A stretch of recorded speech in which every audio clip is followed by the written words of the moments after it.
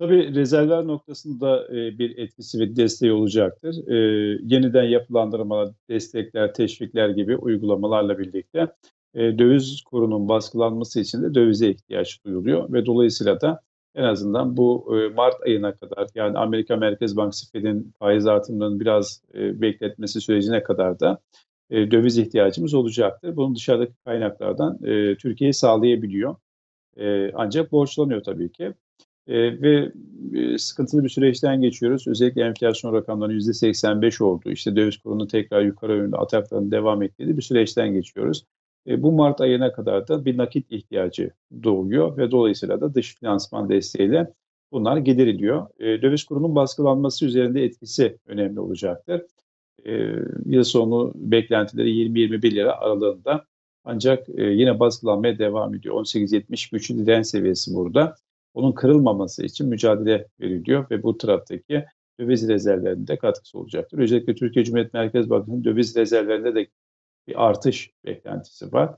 E, bu da e, ekonomiye katkısı açısından en azından kur ataklarının önüne geçmek için e, güzel bir silah olarak ön plana çıkıyor. E, şimdi dolar endeksi yani doların ana vatandaki gelişmeyi takip etmek gerekiyor. Yani 113 seviyesinde bir dolar endeksi vardı karşımızda. Şu anda 105.94 seviyesinde.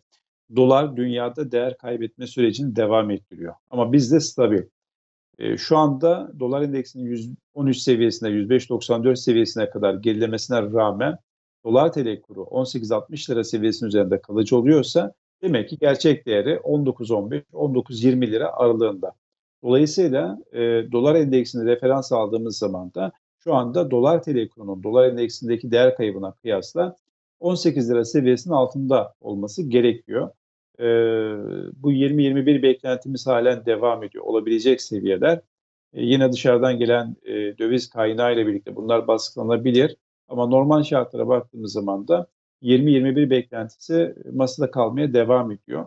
Eğer e, Fed'in faiz artırımları biraz daha yumuşar ve özellikle biraz daha güvercin tonda bir açıklama gelirse o 20-21 lira aralığını da göstermeye bilirler. Ama tamamen Merkez Bankası'nın kontrolünde bir piyasanın devam ettiğini gözlemliyoruz. E, değer beklenti %7.9 civarındaydı. 7.7 civarında. altında kalınca piyasa rahatladı, mutlu oldu. Çünkü agresif faiz artırımlarına ara verecek bir FED var karşımızda. E, Aralık toplantısında 50 bas puanlı bir faiz artırımı. Tekrar diğer toplantılarında 25-25 yapmak suretiyle Aralık e, Mart ayı itibariyle FED artık faiz artırımlarını bitirecek ve kenara çekilecek. Türkiye Cumhuriyet Merkez Bankası da faiz indirme sürecini artık bitirdi. %9 bir faiz oranıyla o da artık kenara çekilecek bir süreci e, gündeme getiriyor. FED e, bundan sonra küresel piyasalarda çok konuşulacak bir enstrüman olmaz diye ben, bunu başta olmaz diye düşünüyorum. Özellikle bundan sonraki konuşulacak riskler ve küresel piyasaların takip edeceği gelişmelere baktığımız zaman da Çin'de artan virüs salgınları ve karantinaya alınan insanların toplumuna baktığımız zaman yeni bir salgın dünyada kapanmaları gündeme getirebilir mi? Bunu takip edeceğiz. Benim kişisel beklentim yine e, yeni yılla birlikte kapanmaların olabileceği yönünde. Özellikle İngiltere'de ayrı bir vaka konuşuluyor. Çin'de ayrı bir vaka konuşuluyor. İşte Türkiye'de biliyorsun bir kuru öksürük salgını var. Ciddi anlamda buna grip salgını diyorlar ama grip salgını olduğunu ben şahsen düşünmüyorum. Ve her ülkenin farklı bir salgınla karşı karşıya kalma olasılığını çok güçlü görüyorum. Bu da yeni kapanmaları e, gündeme getirebilir ve zaten yüksek bir enflasyonla dünya ekonomisi mücadele verirken e, beraberinde resesyon sürecine girmişken bu kapanma süreçleri veya yeni salgınların tekrar gündeme gelmesi küresel piyasalar için, ekonomiler için çok büyük bir risk olmaya devam ediyor. E, Kübra'nın altın fiyatları malum 8 aydır baskılanıyor, manipüle ediliyor. E, özellikle sanal ortamda satılan altınlar merkez bankalarına baktığımız zaman da fiziki tarafta alımlarını artırdı. En son 400 ton alımlık bir alım yapmıştı. Türkiye Cumhuriyet Merkez Bankası da 31 tonluk alımla en fazla altın rezervini artan ülkeler arasında yer aldı. E, tabii ki bu bir şeylerin hazırlığı yani bu tevafuk değil bu kadar altın alınması ve dip seviyesi 1615 dolar seviyesiydi. Bugüne baktığımız zaman da 1755 dolar seviyesinde ons altın. Kasım ayında yükselişle başladı. Bu yükselişlerin devam etme olasılığı çok yüksek. Çünkü enflasyon, jeopolitik riskler ve diğer riskleri satın almamıştı, manipüle edilmişti altın ve gümüş fiyatları. Artık bundan sonraki süreçlerde Kasım ayı itibariyle yükseliş trendi başladı. Ben yeni rekorlar beklemeye devam ediyorum. Özellikle çok yakın bir zamanda ons altında 1815 dolar seviyelerini konuşuyor olacağız. Gram altın TL fiyatında e, şu anda 1059 lira seviyesinde olduğunu gözlemliyoruz. Gram altın TL fiyatında yakında bir yüzlü rakamları konuşabiliriz ve yeni rekorlar yolda. Artık e, dışarıdan gelen haber akışları, bu jeopolitik riskler olabilir, resesyon olabilir, yeni salgınlar olabilir vesaire. Ama ben e, altın ve gümüş fiyatlarındaki yukarı yönlü rallinin daha yeni başladığını ve yeni yükselişlerin, yeni rekorların gelebileceğini tahmin ediyorum.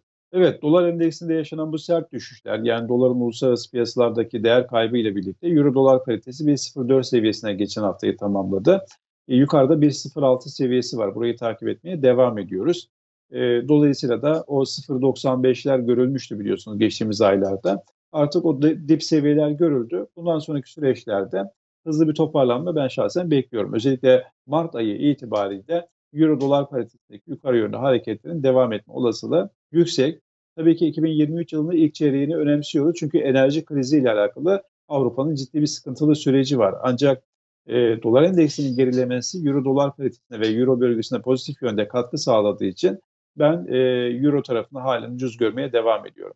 E, evet yani 595 bin lira üst limit var yukarıda. E, galerileri dolaşıyorum. İşte satış temsilcileriyle görüşüyorum. Ciddi bir yoğunluk var. Hatta araba yok çekiyorlar. Ee, şöyle bir örnek verelim.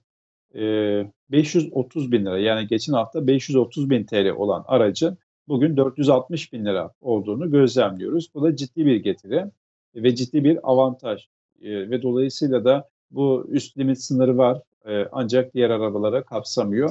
Ama piyasalarda ciddi bir hareketlilik var. Zaten vatandaşlar bunun hazırlığını yapmıştı. Bir sonraki adımlarda da konut kredilerinde faiz indirimleri, işte ihtiyaç kredilerinde faiz indirimleri gibi birçok hamleler seçim sürecinde uygulanacak. Bu da piyasaları pozitif yönde kısa vade için etkileyeceğini düşünüyorum. Ben de teşekkür ediyorum. Sağ olun.